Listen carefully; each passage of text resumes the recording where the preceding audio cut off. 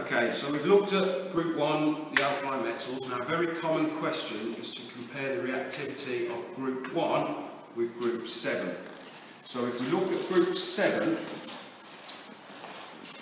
okay, and I've just drawn out here the electron structure of fluorine and chlorine. Now, as we go down the group, you can see the atoms are getting bigger.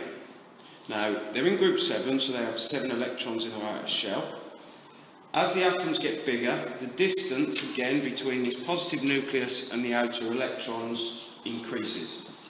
Okay, same as we mentioned with the group 1 alkali metals, this means that there is more shielding. Now, the key difference is that with the group 7 halogens, instead of wanting to lose an electron, they want to gain an extra one. They want to get that full outer shell again, so they want to get to 288 or 28. So if there is more shielding, remember that's the distance between the outer electron and the positive nucleus, more shielding means it's more difficult to attract that extra electron.